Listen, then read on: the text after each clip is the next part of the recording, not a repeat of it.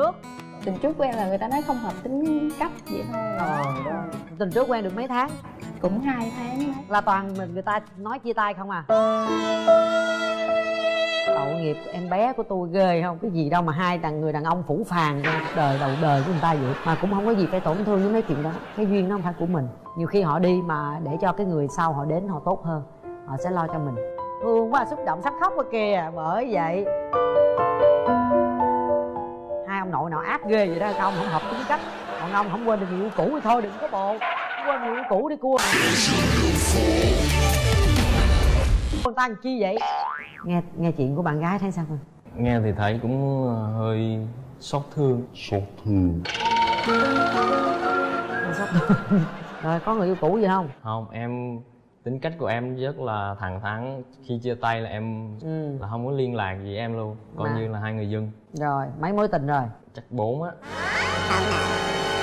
Mối tình sâu nặng mối tình mới chia tay đây là chị. Ừ. hình như quen được gần năm. Rồi sao chia tay? Do em đi làm ở hóc môn cô ấy là sinh viên. Tính của cô ấy con nít á nên cô ấy với lại cô hình như cô cấm em cái sừng.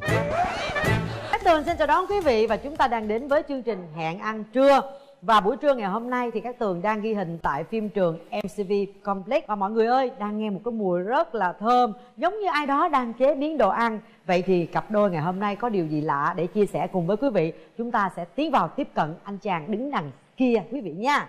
Wow hello hello. Rồi chào bạn trai mình đang làm gì đó? Dạ em chào chị em đang chiên ờ, đậu hũ vậy. Mình làm món gì vậy? Dạ em làm món là hủ tiếu xào chay á lý do tại sao hôm nay đến với chương trình hẹn hò mà mình lại làm món hủ tiếu xào chay nó có ý nghĩa gì không em? Tại vì ờ, hàng ngày thì em ăn chay trường. Nếu mà nói ăn chay mà trường thì được hơn 2 tháng. À, ngày hôm nay thì à, em làm món này để lát mời bạn gái đúng không? Dạ đúng rồi chị. À, có cái, cái cái cái gì muốn thông điệp gì muốn gửi bạn gái không? Có thông điệp là gửi bạn gái là cuộc sống thì lúc nào nó cũng khó khăn áp lực. Đôi khi mình về mình làm xong công việc mình về mình ăn một cái món ăn do đích thân mình nấu mà Ừ. không có sự oán giận của chúng sinh thì trong thân tâm mình sẽ an lạc hơn. Nhưng mà giờ rủi như bạn bạn gái của mình không chưa chắc gì nó muốn ăn chay thì em nghĩ như thế nào? Thì cái đó thì ờ, tùy thuộc vào thời gian thì em sẽ thuyết phục thôi. Đừng có lát cân nhắc đừng áp đặt bạn gái nha. Dạ đúng rồi em đâu có áp đặt ừ, mọi ăn là người. chuyện của mình còn người ta không ăn được thôi nha. Dạ. rồi bây giờ chị tường sẽ à, chờ đợi món ăn của em để mà dành tặng cho bạn gái hôm nay như thế nào nhé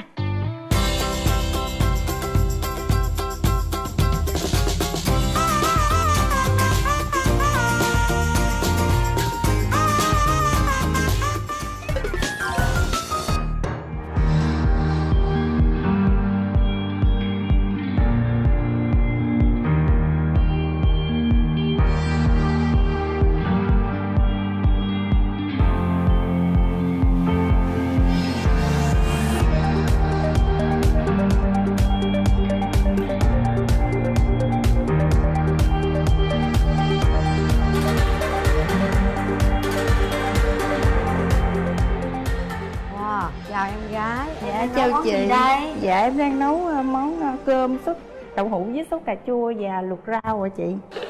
Ủa sao sao sao nguyên hệ liệu này sao quen quen vậy? Ăn chay chị ơi. Ủa ăn chay hả? Dạ. Sao tự nhiên bữa nay ăn chay? Dạ tại ờ, em đạo phật nên á hả thường ờ, mùng một hay với lại 30 rằm rồi. Ồ, dạ. rồi nói chung là tôi cũng người biết ăn chay à, hôm nay là mình làm cũng là đồ chay và cũng tàu hũ cà chua với rau. Rồi thôi chúc em thực hiện món ăn thật là ngon miệng. Ủa món ăn này lát nữa mời bạn trai có không? Dạ đúng rồi. Đúng rồi. Xin mời quý vị theo dõi à, màn trao đổi món ăn ngày hôm nay quý vị nha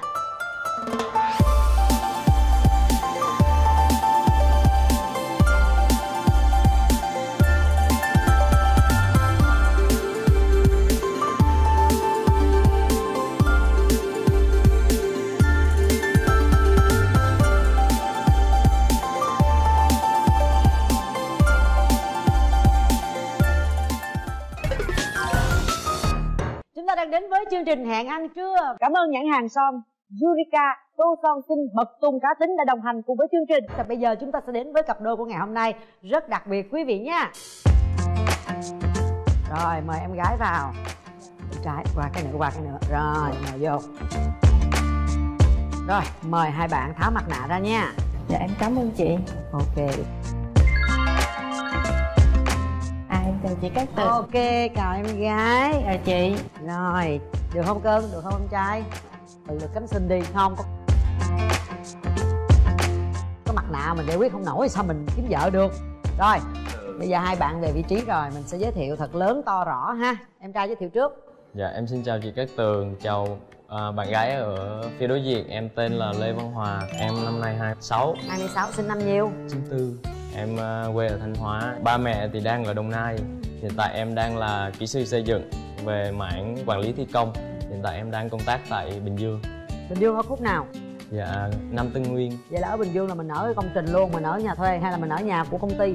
Dạ công ty thuê. Là ở đó lâu không hay là mình làm hết công trình đó mình lại đi hay là ổn định ở đó luôn? Dạ mình làm theo dự án chị, có nghĩa là công trình có thể một năm, hai năm hoặc là 6 tháng gì đó còn công ty chính là nằm ở đâu? Công ty chính nằm ở 14 Lam Sơn, phường 6, quận Bình Thạnh.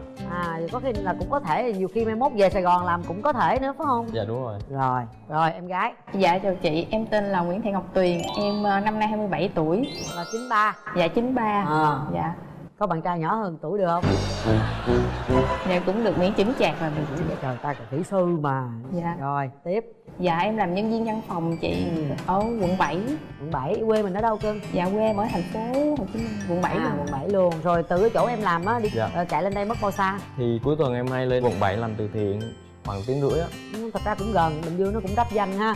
À, có quen nhau thì cũng có cơ hội tuần gặp nhau một hai lần tìm hiểu cũng được. Rồi mình rút ngắn cái thời gian quen nhau lại nhưng mà thí dụ nguyện vọng mình là muốn khi nào kết hôn? Dạ 1 đến 2 năm đó chị. Một hai năm. Còn em?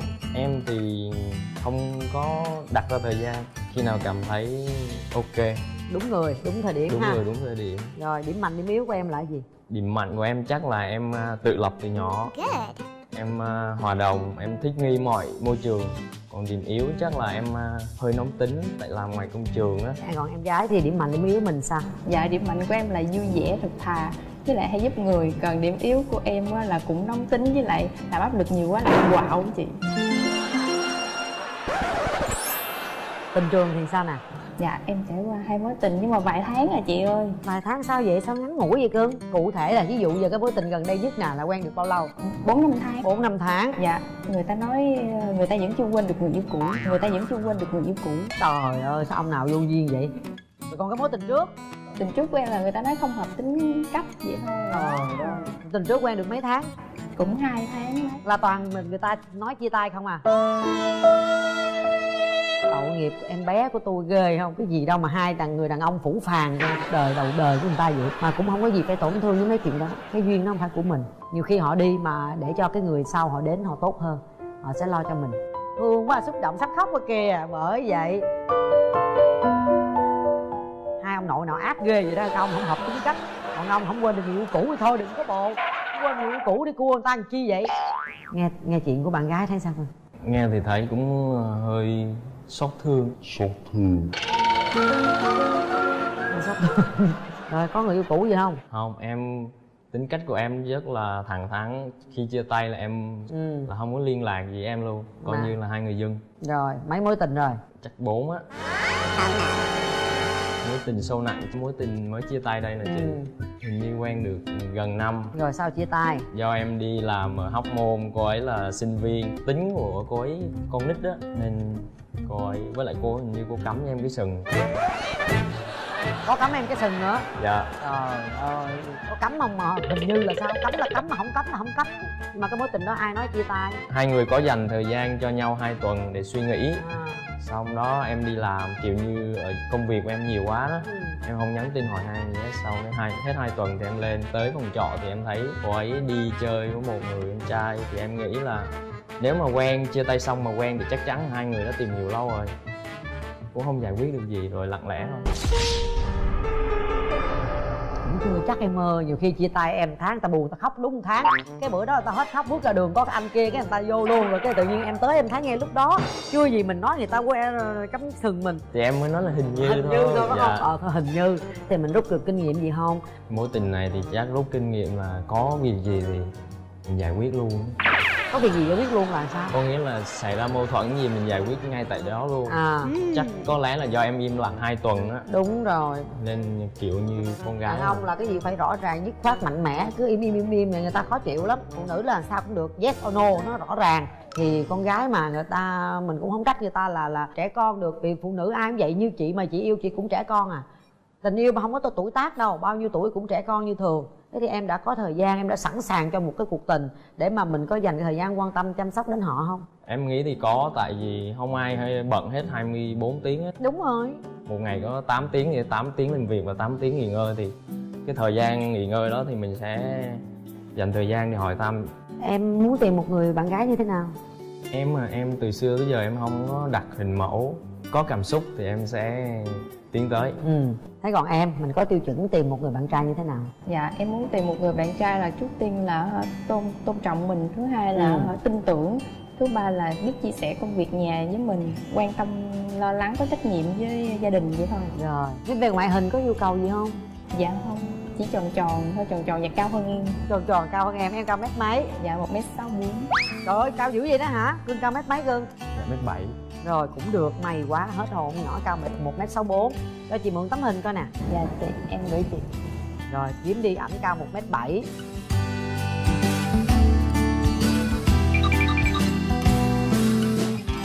Một mét sáu bốn. Trời ơi, ngồi không mà sao biết. Cho ảnh một cái đặc điểm nhận dạng coi. Trời.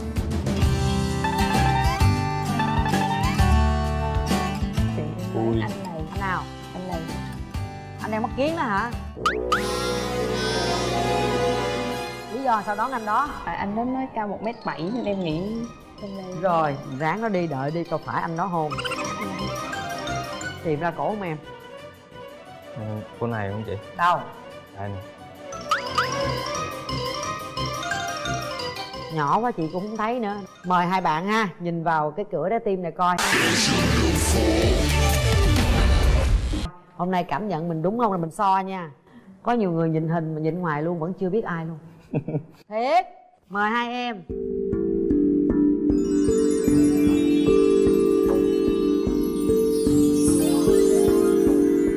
Rồi mình chào nhau đi nè. Chào em. Chào như là đây đây ơi đâu? Đây nè.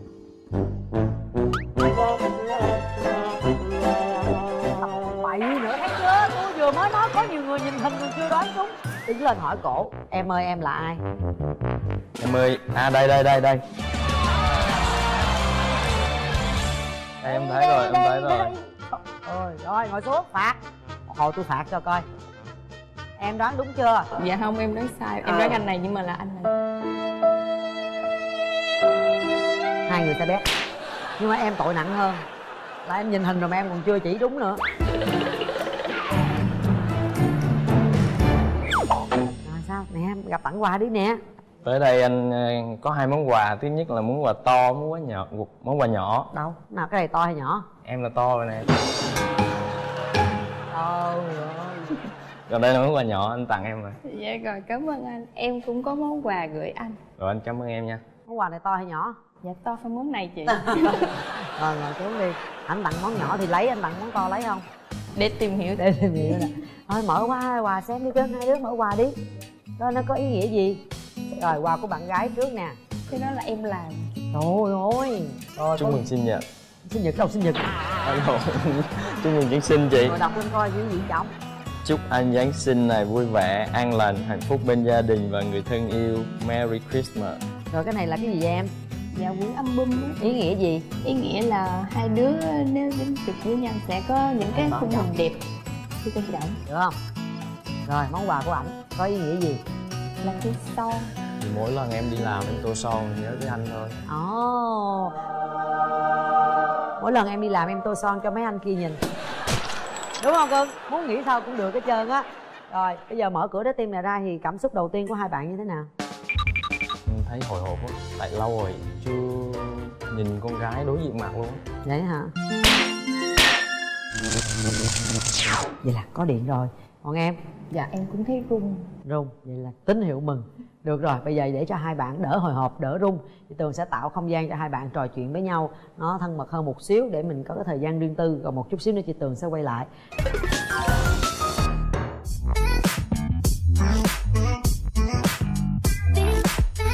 Dạ, bây giờ bình thường thì chương trình sẽ ờ, chuẩn bị những món ăn dành cho hai bạn. Nhưng hôm nay xin giới thiệu cho hai bạn một điều bất ngờ Đây là món ăn mà hai bạn đã làm và dành cho nhau.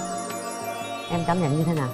ngày hôm nay là có bạn gái nấu thì đương nhiên sẽ là vui và Ừ, hạnh phúc mà. Ừ. Nhưng mà quan trọng là cái món ăn nữa. Dạ. dù ngon hay dở nhưng vẫn ngon. Nhưng mà em ăn chay trường. Thì cái này là chay trường cái này là chay mà chị. Thì sao em không ngạc nhiên tại sao người ta làm đồ chay cho em ăn à? Sao ta biết em ăn chay trường? ồ tại sao em biết em ăn chay trường nha em có ăn em chay cũng, không? dạ có. Em cũng đạo phật và em cũng hay ăn chay vào ờ, ngày rằm với lại mùng một. À anh thì anh đi làm anh ăn chay hai buổi buổi sáng và buổi tối. Còn buổi trưa là do gần công trình không có bán đồ chay nên em phải ăn mặn. Sao hồi nãy tôi hỏi ông ông Lâm ăn chay trường rồi giờ ông Lâm buổi trưa ông ăn mặn? Hàng ngày thì em ăn chay trường nếu mà nói ăn chay mà trường thì được hơn 2 tháng. Thì do buổi trưa nên không có chỗ bán. Nếu, nếu mà có chỗ bán thì em sẽ đi ăn chay. Thì mình tự bới cơm theo ở nhà ăn Sáng sớm ngủ dậy bới cơm với rau luộc với tàu hũ chiên. Không em Tàu hũ luộc đem theo ăn. em không có nấu. Vậy mà gọi là ăn chay trường. Cái đó gọi là ăn chay đụng ông nội. Đụng đâu ăn đó. Mệt ghê. Mời hai bạn trò chuyện với nhau. Tôi đi đây. Ủa mà em làm cái gì? Em làm nghề gì dạ em làm nhân viên văn phòng là về ờ, hợp đồng với lại À. ờ, lưu trữ văn thư nữa ủa thời gian rảnh em hay làm gì ta? Thời gian rảnh là em hay đi ờ, làm việc nhà với đi dạo hoặc là đọc sách này nọ. Ừ, nãy em có nghe là nhà em ở quận 7 dạ. Mà anh à, cuối tuần anh cũng hay lên quận 7 làm từ thiện á. Em biết uh, cao ốc phú long không? Dạ không. Không à anh nấu anh tham gia đó cũng được hơn gần 3 năm rồi dạ, nhưng mà anh tham gia cái gì á? Có nghĩa là nấu cơm á xong rồi um, đi vô hộp xong đi phát cơm từ thiện ở các bệnh viện á. À em cũng muốn đi dạng đó. Muốn đi không? Để khi nào có dịp anh dắt anh đi. Em muốn tập thể dục không? Có. Có nhưng mà chút chút rồi. Phải xuyên tập thể dục đi. Dạ. À em đi bộ nhiều lắm em thích đi bộ. Sao? Em ăn nó muốn nó em thấy sao? Dạ không được. Không được. Ngon còn ăn ăn có món của em như thế nào cái này cũng được á. Dạ. Ủa, quý- anh thấy là nhân viên văn phòng thường có con trai nhiều lắm mà ta? Dạ nhưng mà người ta có gia đình hết rồi anh. Đâu giống như anh đâu anh đi làm toàn là mấy anh lớn tuổi rồi môi trường không có con gái. Nên anh mới ế thôi.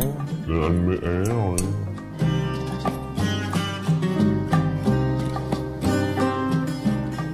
biết nấu ăn không? Dạ biết em biết nấu sơ sơ. Sơ sơ em, hả? với lại em thích nấu ăn nhưng mà nấu mọi người ăn thì nhận xét là ờ, không có ngon lắm tại vì em nấu hợp với khẩu vị của em rồi. Đúng rồi. Ừ. không sao mình nấu là được rồi. Ừ. anh cũng thích nấu ăn nhưng mà lâu anh không nấu. Sao? Rồi hai- bên làm vừa khẩu vị nhau không? Ăn nhiệt tình ghê ha. Đúng ý luôn ha ý ghê vậy đó. Ngon không? Ngon nhưng mà hơi rạt ăn chay ăn lạc lạc thôi cho thanh tịnh. Không do không có nước tương. À, đòi hỏi quá à. Kìa nước tương mà anh sao không chia cho ảnh? Em tưởng bên đó cũng có cho nên là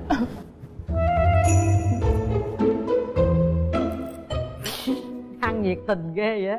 Hai đứa đói lắm hay sao không biết nữa. Thiệt luôn á nãy giờ lo ăn không hả? Có chia sẻ được việc chưa? Rồi chừng nào hẹn hò nhau làm sao? Có kế hoạch chưa? Dạ có. Cuối tuần thứ bảy ở chủ nhật khi mà có từ thiện rồi á chị. Không. Thì sao? Hứng là em lên thôi. Hứng là thân thôi. Nhưng mà tùy thuộc công việc nữa. Nếu mà À. công việc ừ, mà nó nó nhàn thì em mới lên. Còn như mà nó bận quá thì à, chỉ có cuối tuần. À. Trời ơi khổ tâm vậy ông đói. Tám kiếp ông chưa được ăn cái gì á. À, hôm nay em gái đi với ai dạ em đi với mẹ với gì? Vậy hả? Em trai có đi với người thân không? Dạ không. Không phải không? Rồi giờ mời mẹ vô nha. Dạ mời hai mẹ vô ạ. Dạ mời hai cô. Dạ mời hai cô đứng đây. Dạ, dạ chào hai bác. Dạ ai là mẹ ạ? Dạ. Đây là mẹ. Còn à, Gì, gì? gì mà chị hay là em? Dạ em em của mẹ. Mẹ năm nay là nhiêu tuổi mẹ? Dạ sáu lăm. 65 còn gì? Gì sáu hai. 62 rồi hai chị em y chang nhau ha mà cũng xinh xem nhìn cũng như nhau vậy đó. Bác ờ, thấy ờ, cháu trai này như thế nào ạ? Thấy à, cũng được ngoại hình thì, thì cũng coi được nhưng mà còn tính cách thì có đồng thời lâu về lâu dài. Dạ. biết được chứ mình mới nhận về điện thì cũng chưa biết được. Dạ. Còn tùy duyên của hai đứa. Dạ. Nhưng mà mình có mong muốn có cái tiêu chuẩn tìm cái à, à, con rể tương lai như thế nào không ha bác ha? Thì à, à, mong muốn là con về con rể là phải biết à, là chăm lo gia đình sự nghiệp. Dì có câu hỏi gì hỏi cháu rể tương lai không gì thì chỉ hỏi chứ cháu là làm cái công việc của cháu thì nó có bận lắm hay không? À, nó có ổn định không? Dạ tại nghề của con là chỉ bận khi là công trình làm móng đã lên được phần thô đến vào giai đoạn phần hoàn thiện thì con sẽ nhàn hơn. Tại con đổ bê tông liên tục mà đổ bê tông thì không có giám sát kỹ sư thì ở đó người ta sẽ làm sai lúc đó. Mà ý gì hỏi là cái công việc em có ổn định không? Dạ ổn đi gia đình cha mẹ anh em đông không? Dạ gia đình à, con anh chị em có sáu có bốn người. Bốn người. Mấy trai mấy gái có gia đình hết chưa? Dạ ba trai một gái. Mấy anh chị thì có gia đình và ở riêng hết. Nhà chỉ còn mình con. Mà mẹ kêu là cưới đi mà con chưa có. Con chưa có. Đúng rồi tôi hy vọng ngày hôm nay coi mình có bắt đầu một cái mối quan hệ mới ha. Rồi thôi giờ xin phép à, hai mẹ đi nếu mà có cơ hội mà được là làm quen à, được quen biết với con gái thì là mình à, xin phép được tới lui thăm hỏi để mà mình tìm hiểu.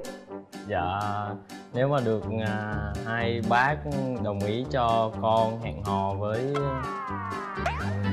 đó em quên tên kìa. Dạ em tên tuyền. Bạn tuyền thì con xin phép hai bác. thì con xin phép hai bác. Tạo điều kiện. Tạo điều kiện cho con được ờ, tuyền có thời gian tìm hiểu nhau. Rồi dạ cảm Đồng ý. đồng ý ha. Dạ con cảm ơn à, bác cảm ơn dì nha. Chúc bác cái gì nhiều sức khỏe. Rồi để cho đôi trẻ tiếp tục tìm hiểu nhau một xíu nữa. Dạ mời dì bây giờ chơi cái game show này nè hồi nãy giờ mình nhìn kỹ bạn gái rồi phải không? Cho nhìn kỹ lại một lần nữa đó. Em gái đứng lên đứng lên đứng lên đây. Em gái đứng lên đây cho nhìn thôi chứ không được sờ vào hiện vật nhìn cho kỹ. Dạ rồi. Bây giờ mình sẽ chơi một cái game show bịt mắt bắt dê ủa quên bịt mắt tìm người. Bây giờ chị sẽ bịt mắt em lại. Chị sẽ để ra đây một dàn những mỹ nữ cho em rờ tay từng người và em đoán đâu là cô gái này. Dạ. Mình nắm tay trúng cô nào thì mình sẽ tỏ tình với cô đó. Rồi xong mở mắt ra tính tiếp. Dạ. Được chưa? Dạ. Mà trước tiên hỏi bữa nay cô gái này thích không? Hợp gu hợp ý ý mình không? Muốn tìm hiểu không dạ muốn. Rồi ráng nhìn đi nhìn đôi tay đi. Nhìn nha. Dạ. Rồi. Một cô hai cô ba cô bốn cô năm cô. Nhỏ xỉu à. Đi đứng lên theo chị tường. Tất cả các cô gái xòe tay ra phía trước. Lễ hội trao tay bắt đầu. Đầu tiên con trai á có quyền cầm hai tay để cảm nhận cho kỹ cứ rờ hết ba người chứ mới rờ có một người hà rồi cô kế bên. Còn sao hai tay là thì người ta đưa hai cánh tay luôn rồi mình nắm một cánh thôi. Rồi cô bên này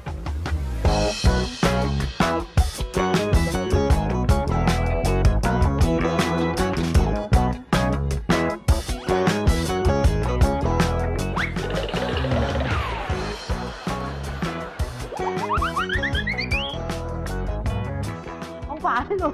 Có nhận chứ có dây chuyền không phải luôn. Sao tay dài? Quá đây còn tay nữa bốn tay. Hồi nãy em thấy có ba tay à? Ừ thì chị mới cái tay nãy tay của chị tường. Như như tay này đúng không chị? Nhanh nè chốt nè. Này. Rồi tỏ tình đi. Có được gỡ đâu không chị? Không tỏ tình xong mới gỡ. Em em ơi. Em tên gì? Em tên tuyền. Ờ em tuyền ơi.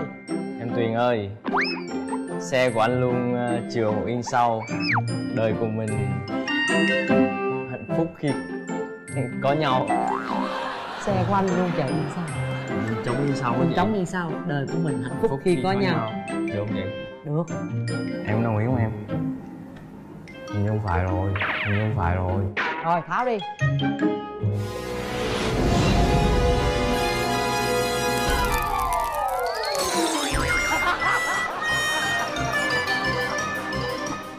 nhầm là nhầm chị ơi. Giờ sao? Giờ sao ai biết hai đứa thương lượng nhau đi? Giờ nhầm sao giờ? nhầm rồi sao ta? Nhưng mà sao cuối cùng cũng cũng cũng chọn? Không tại em thấy tay kia nó mềm. Mềm tay này cũng mềm. Ừ. Mà chị thấy em mà rồi tay rồi. tay này tự nhiên có cái nhẫn có Nhẫn cái đâu nhẫn? có nhẫn cái hộ nhẫn hột là tay tôi. Ồ cha chị à tôi đã nói tay tôi rồi. Bây giờ em có tha thứ không? Hay phải phạt. Dạ phạt đi phạt chị. đi giờ phạt gì em cho hình phạt đi. Tỏ tình lộn người nguy hiểm lắm anh nói hít đất đi chị. Hít đất đi lâu quá cái trò chơi hít đất tôi bỏ quên nè. Hít đất được như không? cái gì hỏi cổ cổ phạt mà. Hai mươi. Hai mươi. Nhỏ này ác hơn tư tưởng. Không sao em có tập thể dục ra trước này hít đất cho tôi 20 cái. Một đếm đi cưng hai ba bốn năm sáu bảy tám. Được ha Chín, có sức khỏe ghê. mười khỏe má ơi khỏe. mười hai. Được mười ba. Cái này gã được. mười bốn mười lăm. Có chuyện gì ổng con mình chạy mười kịp bảy mười tám mười chín ổng giờ đi đẻ. hai mươi rồi về chỗ. Sao? Có hận thù gì ai không? Không. Lỗi mình làm mình chịu chứ phải không? Dạ. chơi cũng chịu. Ổn không ổn không? Ổn chị. À, rồi đeo mắt kiến vô đi nè. Đẹp trai lại cái để tới đoạn cầu hôn nè. Đó thôi bây giờ à, cảm nhận của các bạn hiện tại như thế nào? À, cảm nhận về đối phương như thế nào? Thôi cho em gái nói trước đi cho nó thở một chút cưng. Mời em trai gái. Dạ đến đây cũng là một cái duyên để gặp gỡ rồi. Ờ, em mong là chúng ta sẽ cho nhau cơ hội. Dạ. Em thở cái gì thấy chưa? Không nói kịp đâu. Mấy gái có mấy lúng đồng tiền dễ thương lắm nha. Đó anh không biết là em có tin kiếp trước không nhưng mà do mình gieo một cái nhân lành thì ngày hôm nay mình đã đủ duyên để gặp nhau. Còn cái quả về sau á, là do em và anh mình có nợ với nhau hay không nữa thì trước mắt là anh không có hứa hẹn gì hết. Anh chỉ có biết là ngày hôm nay anh vẫn sống vẫn thở thì anh sẽ cố gắng tất cả vì em thôi tất cả vì em thôi.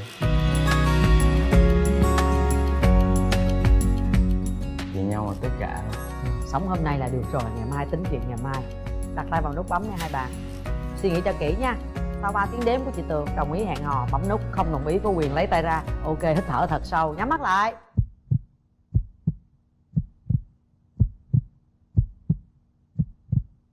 Một.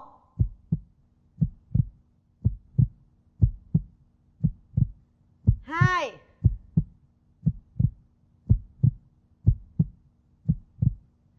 Ba.